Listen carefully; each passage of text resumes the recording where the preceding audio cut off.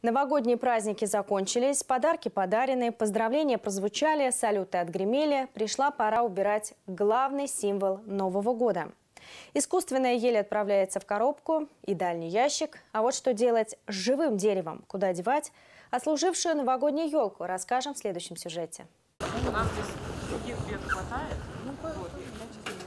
Сразу после Старого Нового года успевшие освободиться от большей части иголок живой елки освобождаются уже от нарядного убранства и с праздничного пьедестала отправляются к мусорным контейнерам. Работники Тверь-спецавтохозяйства регионального оператора по вывозу твердых бытовых отходов поясняют, что складировать сухие деревья нужно в емкости для крупногабаритного мусора, который забирает специальная техника. Если ее выбросить в контейнер, во-первых, она занимает большой объем и, соответственно, меньше мусора в пакетах туда поместится и может произойти завал. И, во-вторых, э, что машина, мусоровоз, э, мусор, который загружается в него, он попадает под пресс. Елка может повредить механизму, и тогда придется ремонтировать машину, и будет простой техники. Далее вместе с другим крупногабаритным мусором новогодние деревья в общем порядке отправляются на полигон для переработки.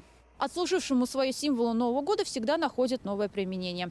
В каждом регионе оно свое. Засохшее дерево, как правило, измельчают и используют в качестве подсыпки либо для других растений, либо дорог. В данном случае отслужившие свою новогодние елки будут раздроблены катком-уплотнителем, а готовый продукт будет использоваться для укрепления дорог. Потому региональный оператор по обращению с бытовыми отходами призывает любителей живых деревьев отнестись к вопросу утилизации праздничного дерева со всей ответственностью. Тем более оно еще может оказаться полезным.